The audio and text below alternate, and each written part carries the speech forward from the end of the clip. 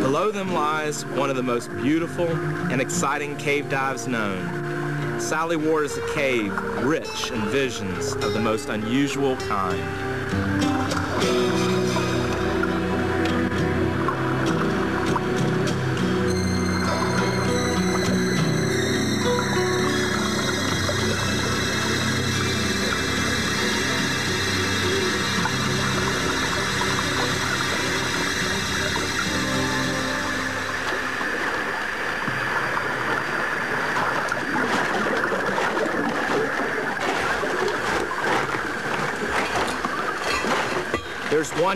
Restriction for Gavin and Mandy to negotiate on the way in. Many people I speak to feel that all cave diving is like this. They ask me, how on earth can you do it? Why do you do it? They think all cave diving is about claustrophobia. In reality, squeezes are not all that common, and they're worth pushing for the rewards that lie beyond.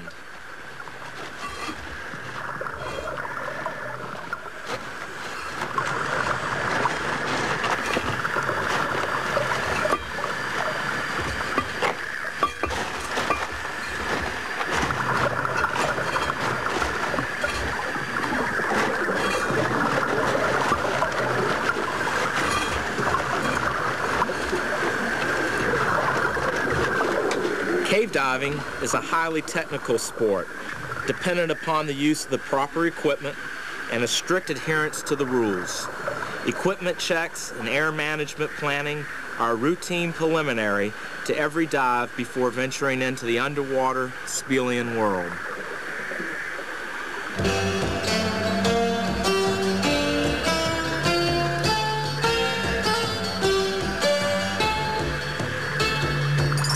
Swimming down passages like this, one has to wonder at how these beautiful tunnels have formed. Time and water are the essential ingredients required to make these caves.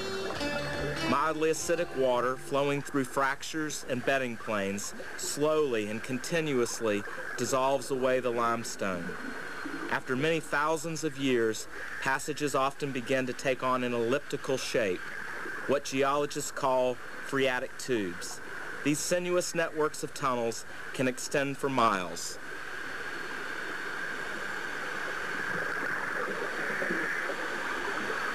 Most common fish we find inside these caves are several varieties of catfish, lemons, bullheads, and channels.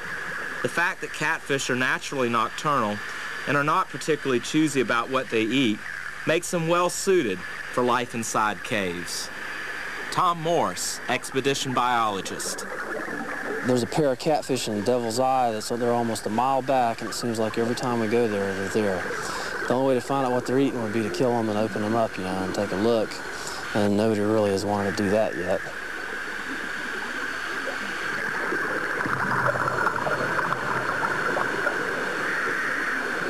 The cave walls tell their own story. 26 million years ago, all the rock we see now would have been part of a great coral reef that extended for hundreds of miles along the ocean floor. Megalodon, a giant ancestor of the great white shark, used to cruise those early waters.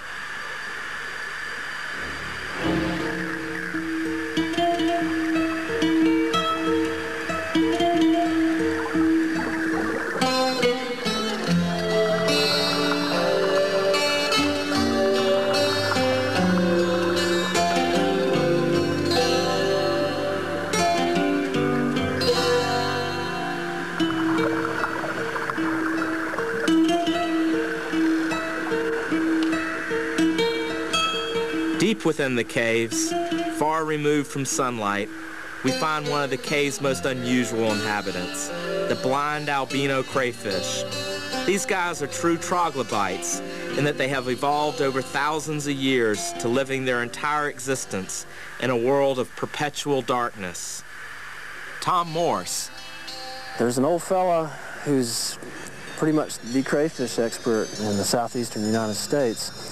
And when he was a graduate student at the University of Florida in Gainesville, he collected some crayfish out of one of the caves and put them in an aquarium. Well, he's an old man now, and those crayfish are still alive. And the interesting thing here is that a normal surface crayfish only lives for a couple years at most. And there's certain evidence that these cave crayfish have somehow or the other stretched out their lifetimes. They live for a long time. And there's indirect evidence that they may live 10, 20 times the lifetime that a normal surface crayfish lives. So they have stretched their lives out, probably in some sort of a response to low availability of food and that sort of thing. We don't know why, but it's kind of interesting. These guys have figured out a secret for longevity.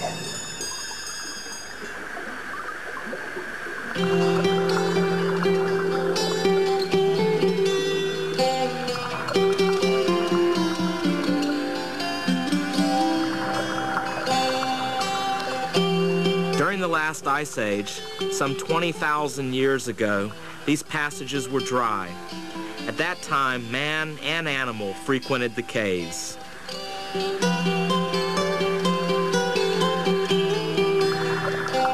In an alcove, something catches Gavin's eye.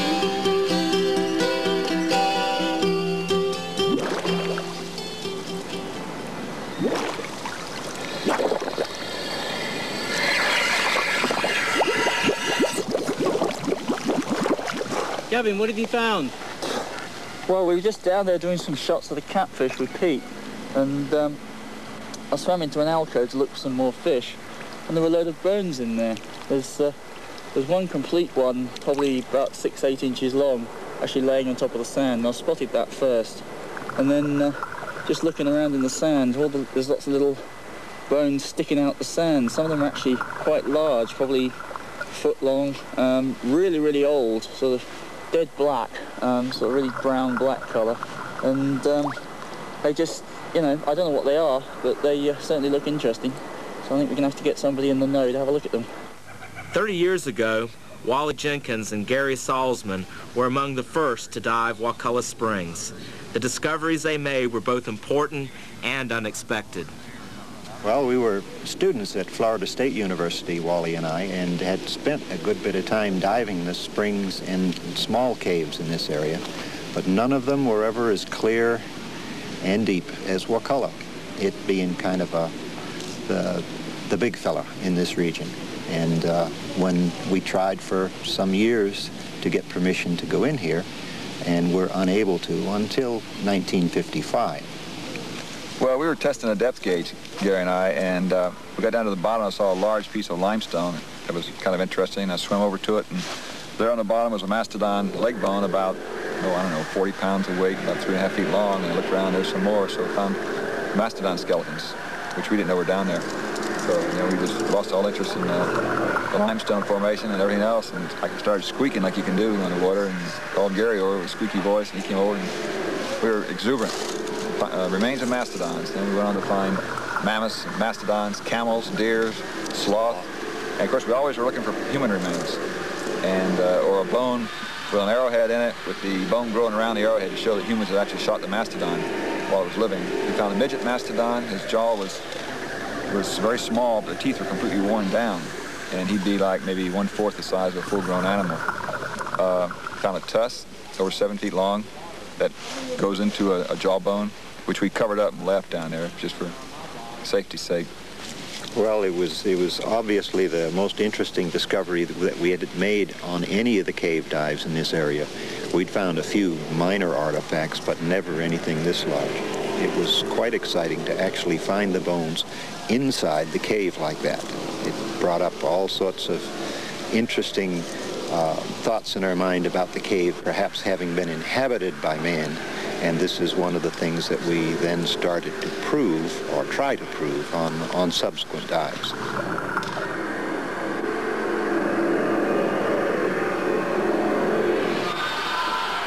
Because it was impossible to swim these massive bones to the surface, Gary and Wally invented a makeshift method of raising them.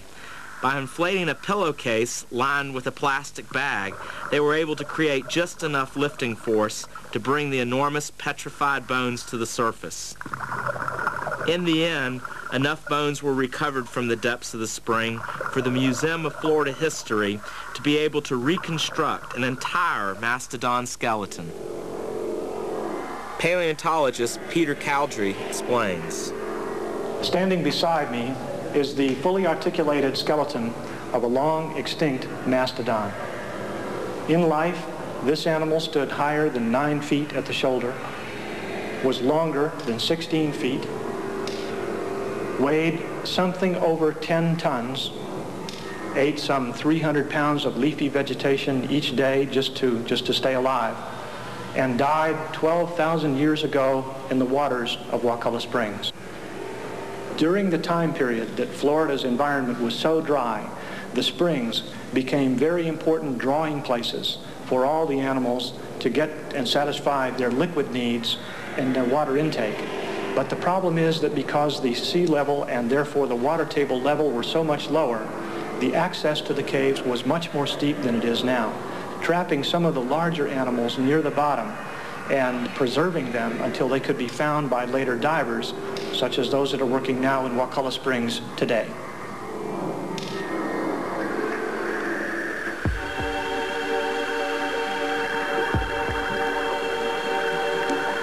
But the reason we cave dive is not so much to discover the past, but rather for the exhilarating feeling of exploring the unknown, to experience the weightless feeling of gliding through water that is as clear as air itself.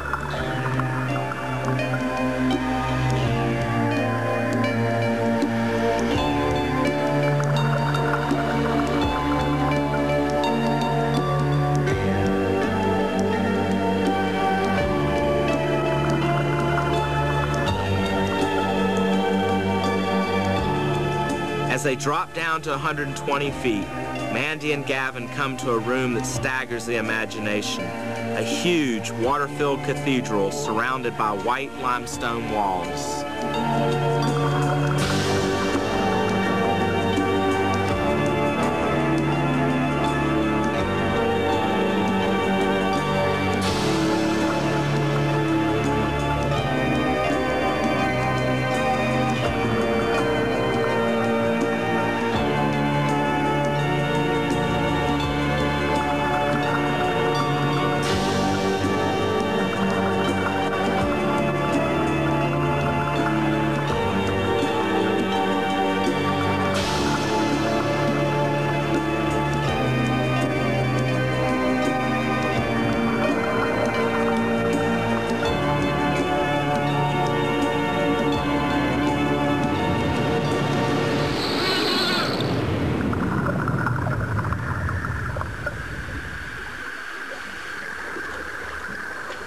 Normal diving procedures require decompression after extended dives at depth. Decompression is the process of ascending in stages, each of a prescribed time, to allow excess nitrogen to dissipate from the body. Special tables have been developed to guide divers through this process. The dives we're planning for Wakulla aren't quite that simple. Down there, we plan to use a variety of exotic synthetic gases to avoid certain physiological problems. Diving physician Dr. Noel Sloan. The most obvious problem with deep cave diving exploration is in this particular project are the absolutely massive volumes of gas required to support divers at such depths.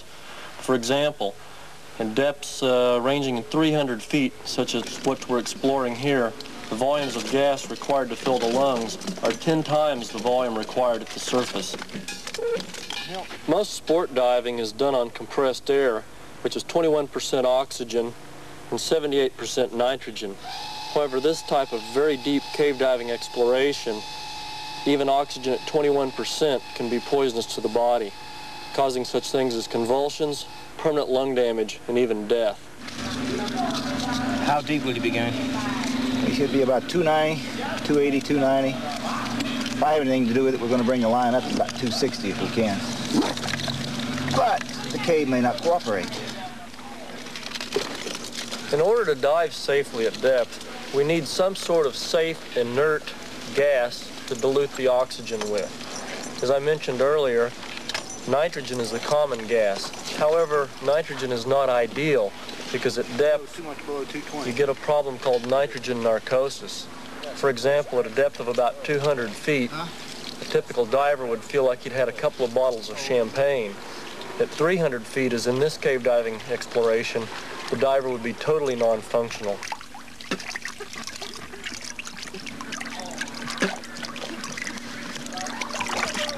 By substituting helium for nitrogen, we can totally avoid the problems of nitrogen narcosis. The diver can be very clear-headed, even at extremely deep depths. One of the problems with helium is it has a very high thermal conductivity. Where's Lincoln? What that means is that with helium, the diver is going to get much colder than with nitrogen. And on several hour dives, this can become a major problem for the diver. The second and more complex problem, however, is that with helium mixtures, decompression requires much longer periods of time than it does on compressed air.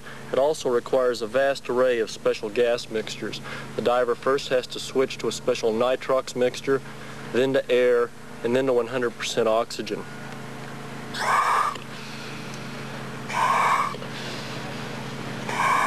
This may sound fairly complex, but diving on mixed gas is really fun.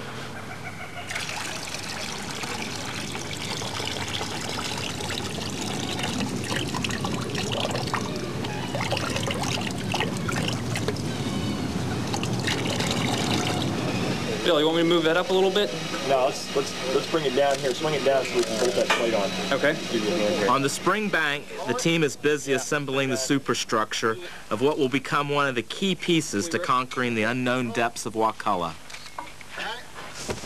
When completed, this unique structure will be used as underwater living quarters, allowing divers to decompress in relatively dry comfort. Go, go, go. We wrote. Okay. Control. Is that gonna be enough? Okay, Pat, can you put some uh, quarter inch through there? On the bottom? Okay, um, Clark, what we need to do is, is tighten all those guys down there and then start seeing if we can fit the, uh, the deck sections in on top just to make sure everything's going to fit correctly. Okay. And then I would I would go back around to the main connection points, uh, each of these three them locations here. down? Instead- The ones that have washers, go ahead and snug those down. Uh, and then we can work our way back to the bottom and get those down there.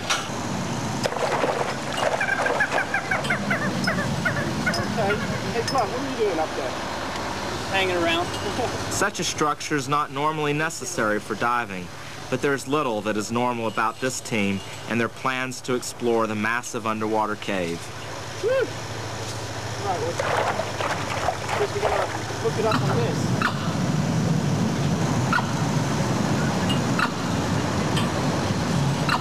By trapping a bubble of air within the spherical section of the frame, a Jules Verne fantasy of living underwater will be turned into reality.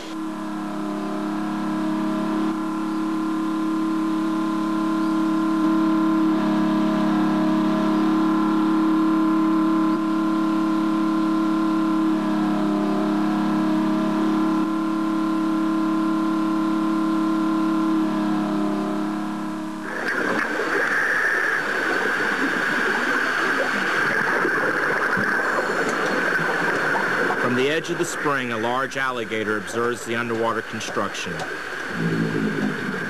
For who knows where the next meal is coming from?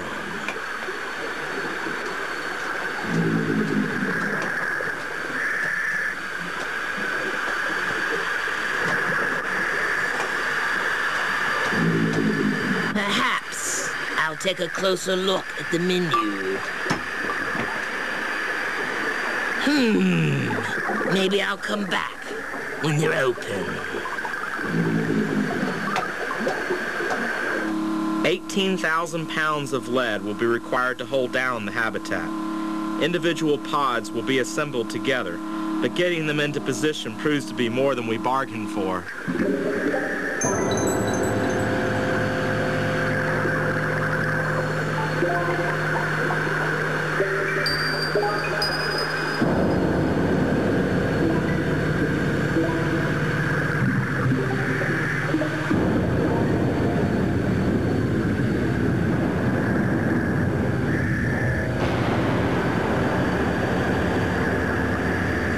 We've got a, a small problem. We've uh, lost two of the uh, the primary uh, ballast cylinders. Uh, the when they were moving the, the crane in, uh, uh, rotated around and bumped a couple of the ones that were in the station there at 20 feet, and they fell straight over the edge to a 100 foot depth. we sent two of our divers down to uh, to look for it, and all they could find was a, a smoke trail going down into the tunnel. And uh, so at this point, we've actually got to send a, a recovery team down to uh, see if we can find them. And uh, we anticipate that if we can if we can find them, uh, we're going to have to take a, a two-ton lift bag down for each one, uh, inflate it on the spot, and hopefully be able to recover it uh, directly from there up to the site where we're assembling the habitat.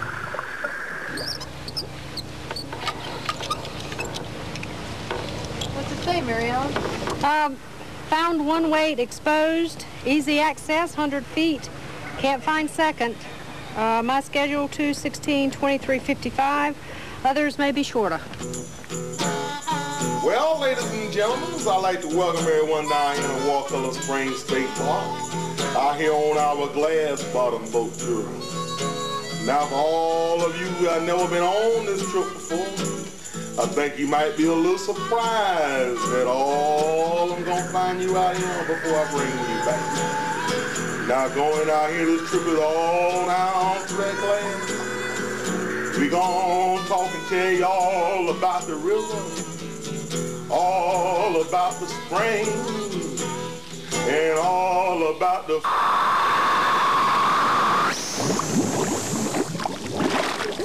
My God, Gavin, what happened down there? It looked like a depth charge went off up here. Yeah, we've just been trying to get back the lead pod that we lost. Um, I was down on the airbag filling it up with the airline and it was stirring up all the silt out the bottom. And we just had to put so much air in it to get it to unstick from the bottom. But once it did, it just took off like a missile. I don't know what happened because it was just covered in silt. I couldn't see a thing.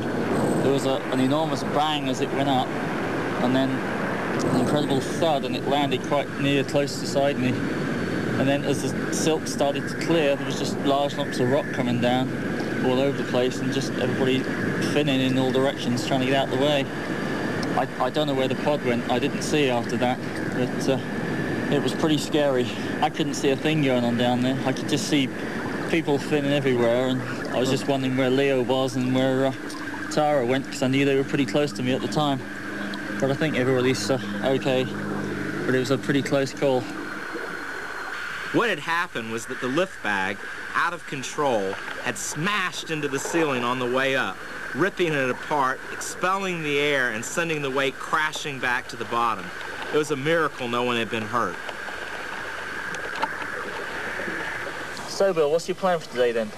Uh, well, we've we've done the leak check here. Everything looks pretty good. If if everything works right, we'll try going for 12 hours duration. See if I uh, if I can hold out in this suit here. And uh, if that works real well, then uh, next week we'll go for 24 hours. This is the first real test for Bill Stone's prototype rebreather. It has four onboard computers to provide automatic control of synthetic gas mixtures. It's a far cry from the simple diving equipment that was available back in the 50s. I guess the best way to describe it is you had a source of air, a tank of air, you had a regulator, you had a face mask you could see, and a pair of fins to push you through the water, and that was it. Uh, there were no diving watches at the time. No submersible pressure gauges, which tells you how much air is in your tank at any one time. No buoyancy compensators, so you control your depth. Uh, very basic. All of our early dives were made without wetsuits and uh, just a bathing suit and perhaps a, a sweatshirt over, over the top. Some many times not even that. We could dive, decompress at 20 and 10 feet for periods of like 20 minutes at 20 feet and then 37 minutes at 10 feet. And as long as you stood still, you didn't swim around, you could build up a layer of warm water around you that essentially your body has heated. And providing that nobody came swimming by you and kicked up the wash from their flippers, you'd be fine. But once somebody did that, then uh, you'd be very, very cold for the rest of that dive. As divers, we're all very excited about learning to play with Bill's new toy. Here, Rob Parker is being given a demonstration.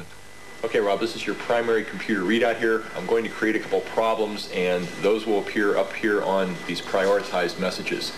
Um, you'll be able to see that over here on the, the computer system when I generate it for you.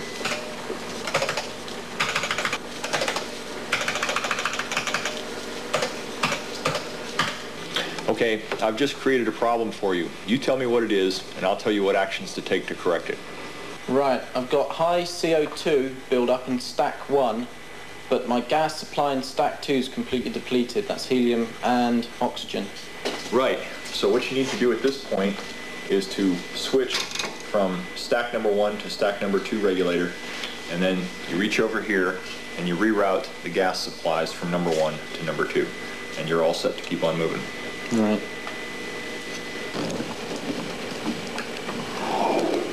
While Rob masters the intricacies of Bill's rebreather, the rest of us are still trying to raise the lost cylinders. We're down there trying to get the lead pod up off the bottom once we found it. And once we initially hooked up to it and we started moving it up, we, we lifted it up off the bottom and let some air out and it fell right back down. We didn't want to lose control of this. we did it several times. And on the third time, we knew we had to put more air in it. We put the air in it and it started coming off the bottom and suddenly it just started accelerating out of control. I was riding it trying to hold it down. Paul was on top of it. I had no idea it'd go the speed it did. It just started flying. So I bailed off at about 50 feet and I looked up and lo and behold, there's a glass bottom boat all these people looking down at us. And I said, oh no, we're going to flip the damn boat over. So Paul was still on the bag. And I went, get off, Paul, get off. And about 30 foot, I saw him rolling off the bag. The glass bottom boat must have just seen it because it peeled out of the way and the bag came clear out of the water with 2,000 pounds of lead connected to it. It was unbelievable.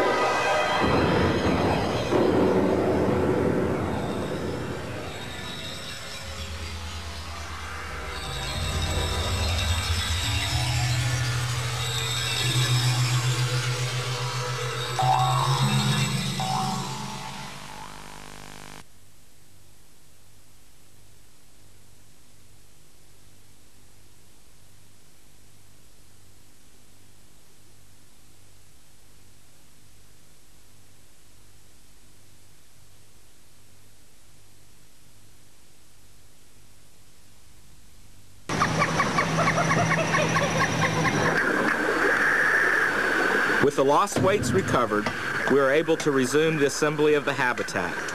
Piece by piece, all the necessary parts come together. Our early trials and tribulations, by both necessity and desire, have made us a stronger team. And like clockwork, everything begins to fall into place. At last, it looks like our habitat will become a reality.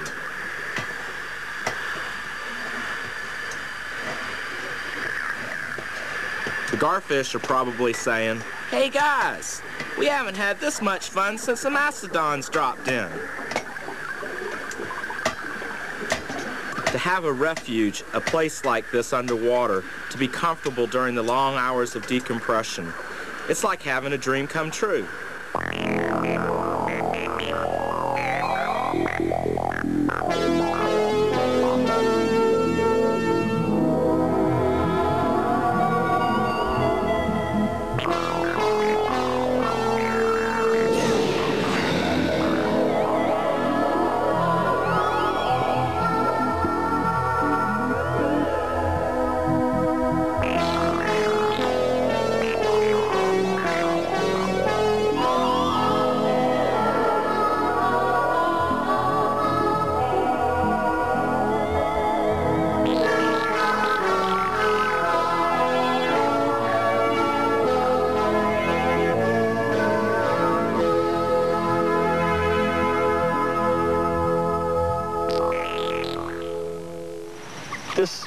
Large orange beach ball that you see beneath me here is in fact part of a large underwater structure which stretches down over 25 feet below us and in fact is connected 85 feet down to a large deep level anchor.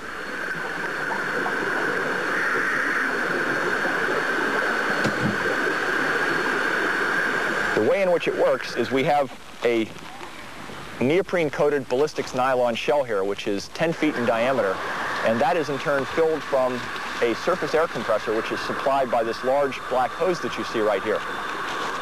When this is completely full, it has an upward force in the water of approximately 16,000 pounds. Now, to make it work underwater, because this is a variable depth device that we want to use for decompression and recompression therapy, we have a bunch of counterbalance weights which are suspended by three tubular aluminum space truss frames that go down approximately 14 feet below the hemisphere here. Theory's fine when it works, but in practice, it is the hemisphere's capacity to support its own weight that is now giving rise to concern. There's no way we can change the design at this stage. All we can do is carefully monitor the situation. Go ahead, Clark. What? That's it, Phil. Okay, you're too shy on the lead. You, you think you need about 500 pounds more. Okay. Why not, uh, your hundreds weigh about 125 pounds, right? Okay, so if you put four of you in there, you should probably be able to get it to go down. If we can do that, we'll buy another 500 pounds of lead and sink it.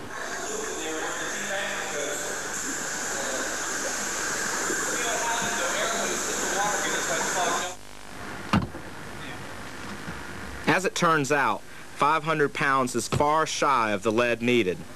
It finally takes four times that amount to sink the habitat.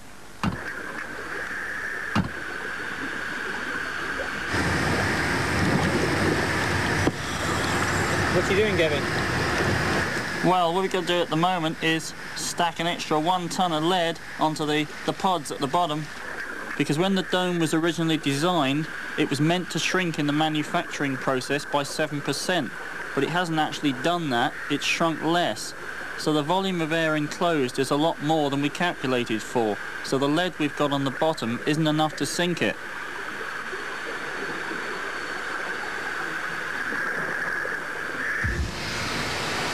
The one ton of lead does the trick, and the habitat sinks to the required depth.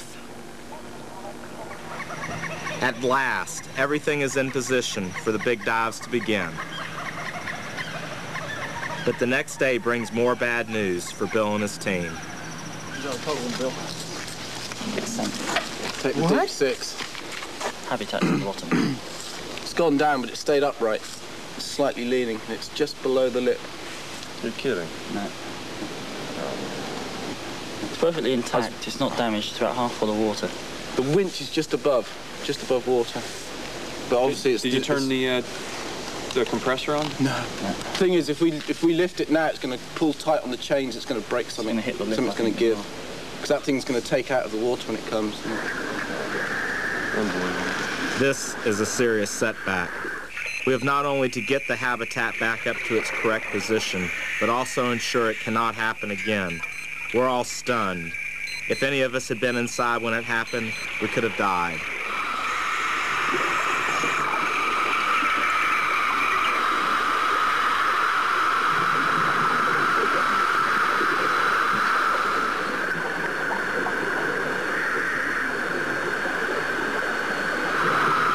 What had gone wrong was that the air supply hose was not fitted with a non-return valve.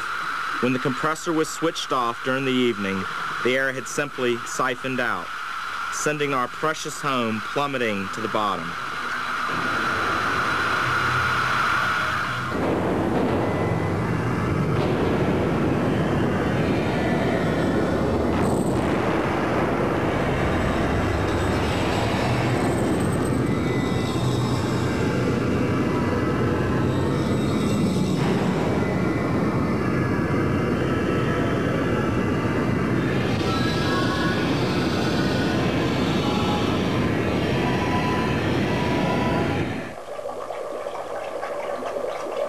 Days later, after close scrutiny and testing, all problems with Bill's variable depth device are resolved. Over the following week, we all gain confidence in the habitat's design and function. We make dozens of workup dives, using our mobile home for more and more hours every day. Thanks, mate. That's better. Can you help fish out my two direct? My father always told me that anticipation was the greatest thrill in life. But by this time, we'd had about all the anticipation we could stand. Rob, Brad, and I were raring to get started with the real business. Well, Henry, how about a drop the phone, now, Henry? Well, I'm ready to go. I've got 4,000. I'll be turning on three. Okay, I've got my air check. I'm ready to go. Let's go lay some line.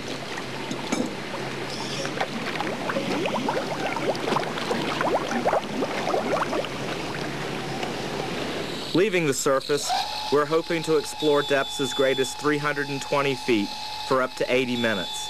A dive like this requires that we carry a minimum of 1,200 cubic feet of compressed gas. Since it would be near impossible to swim with this amount, we use special high-powered scooters to propel us through the water. Our plan is to bring back the first film of this never-before-visited territory.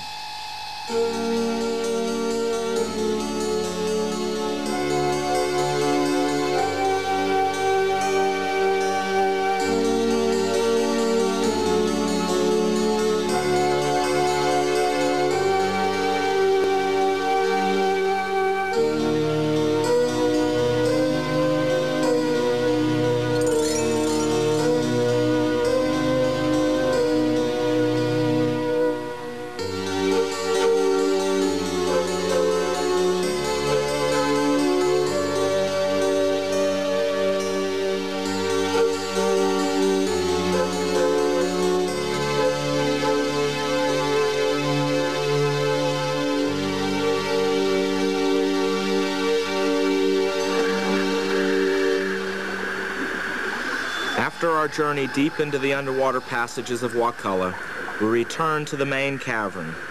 Here begins the long and complex process of multi-gas decompression. A variety of gases are blended together to achieve ideal desaturation. Time and gases required at each 10-foot increment are carefully logged. A total of 21 stops are required before surfacing. The final six will be completed inside the habitat.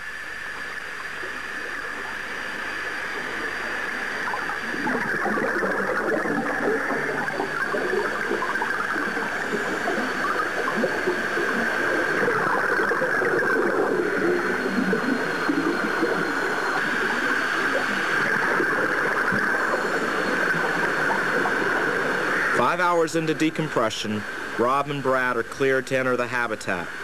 Relieved to be partly out of the water, they stand like penguins discussing the achievements of the dive. The habitat at a distance takes on the appearance of a space station, with its shuttles docked outside.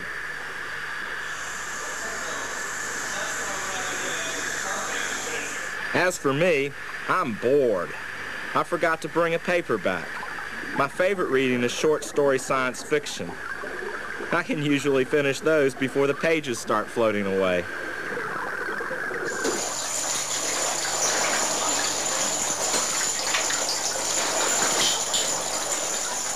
Little extra decompression?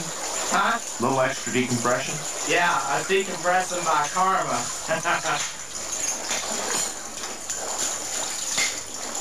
I've got that several times. The first couple times I really didn't know it. And I didn't even know why my shoulder was so sore. Really, really didn't relate it to then. When we got out of the water, I was in a hurry to get done with the dive. It taken too long. And I started hauling gear out, went straight to the van with all my stage bottles, didn't even take my mask off. Went back and got scooters, and when I got in the van started pulling my dry suit off, it just hit me in the shoulder. A sudden, hard pang. I knew I was bent, so I went home and tried to sleep it off. Got up and was still hurting. Couldn't deal with it anymore. Called up a friend of mine. I knew he'd tell me, go to chamber, dummy. I guess that's what I was wanting to hear. It was really hard for me to admit I was bent. They did 11 hours of treatment, but it's probably already too late. I done permanent damage to my shoulder at that point. So now I'm suffering from it. I have to decompress a lot longer than everybody else and come up a lot slower.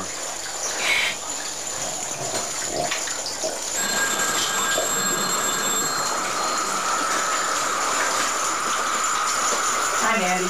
This is Brad. He's standing here with the camera at my nose. Leo, Manny wants to know if we're going to come up and get our food. The diet's really good. Okay, thanks, Manny. Bye-bye. Are you hungry? Yeah, I'm starved. What's for dinner, Leo? Uh, I think Mandy's got a few surprises for you. We've got some potato chips here. All right. And some little pots of stuff. Do you want to grab that? Well, that sure is nice, Messi. This really is a decent treat. I can tell already I'm going to be the kitchen table here. All right. Hallelujah.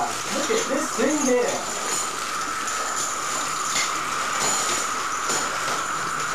Tell Mandy, this chicken's really foul.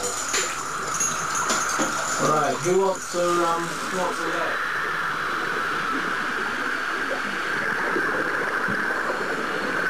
Anyways, know any good jokes? These guys were out on a ranch, so they had to cook. And whoever complained about the food became the cook.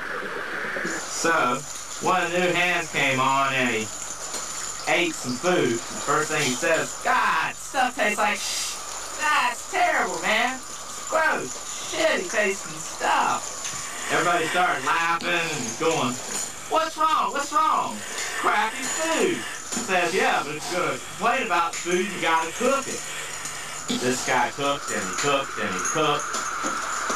On end, he cooked. Nobody said a bad thing about the food. He said, I'm going to fix this. Somebody's going to complain about the food. So he went out and found the biggest old moose turd he could ever find. and made a big old moose turd pie. And sure enough, he put it out there and you know it. The biggest, meanest, baddest cowboy ever to come around was first in line. Black Bart. Well, Black got up there and says, Give me a piece of that pie, boy. Boy sliced himself a big piece of the moose turd pie and started shaking. The Old Black took a bite of it. Oh, moose turd pie, but it's good.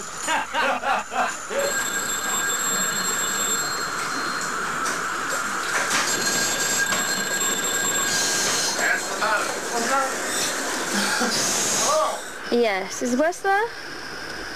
Okay. Hi Wes, I'm sorry we've got some sad news for you. Well, all that film you shot, it's all out of focus. Well, that, that film that you shot on your scooter run in there of Rob and Story of my life. we're really sorry too. Yeah. You can't do it again for us, can you? Yeah, it's gonna be a hard twisting, I promise you. Okay, well, thanks for not keeping it as secret. Alright, talk to you later. Hmm. Yeah. What's the problem? It's all out of focus. What's all that focus? Everything you shot. The, you mean the 16 mil stuff? Mm-hmm. Shooting today. no, not a chance.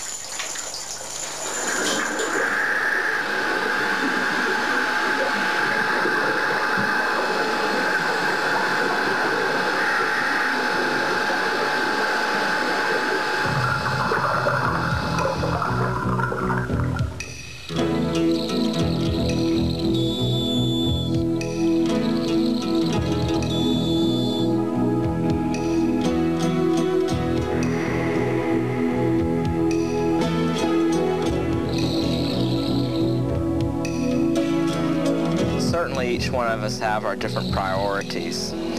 Those priorities are switched around. We all share the same interests, but we prioritize them differently. Certainly to me, exploration, science, and photography. To have explored the greatest underwater cave of all time pushing out, exploring, mapping, the sensation of going places that no human has ever been before. Uh, that all is very, very stimulating.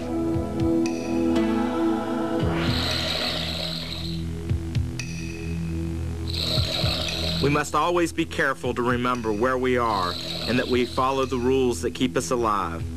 Can you imagine trying to find your way out of these caves without a line?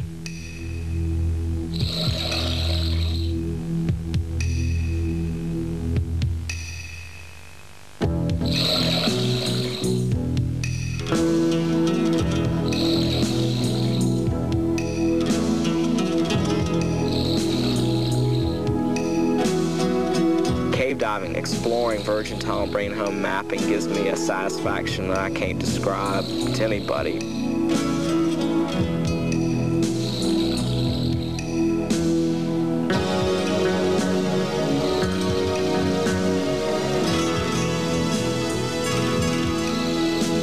totally self-reliant, to be in control of everything I do, and there's never a thought about the surface while I'm underwater in a cave. Never, never a single even flicker of the fact that surface exists.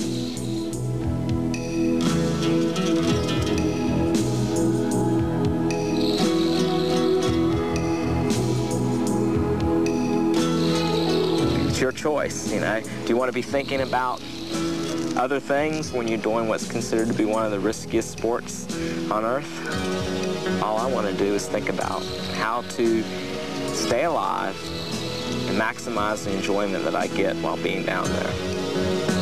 What I realize about Wes Skiles and cave diving is that I'm going to get older and it's going to be harder for me to do the things I can do now. So I'll just change that with technology. Next step, saturation cave diving. We've got to be able to go in and out of a habitat that's constructed maybe even inside one of these massive deep conduit systems and have a month, two months living inside of a habitat. And that habitat would be base camp for extended explorations into the aquifer. In the end, our team went to record depths and distances inside Wakulla. The habitat proved itself sound and taught us that we could safely live underwater.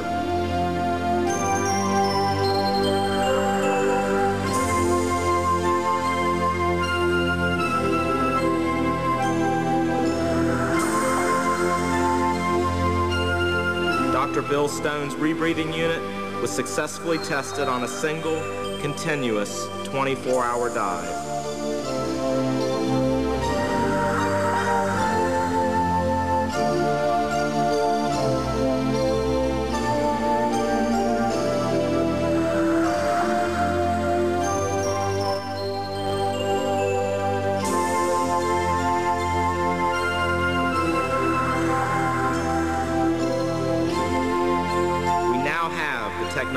To explore into the future.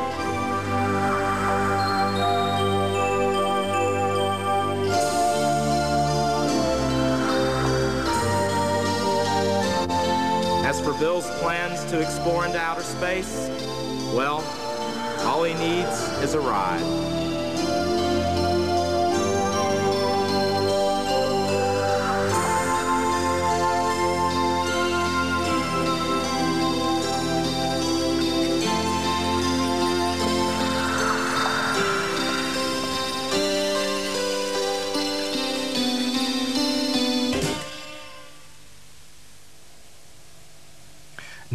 Nou, Val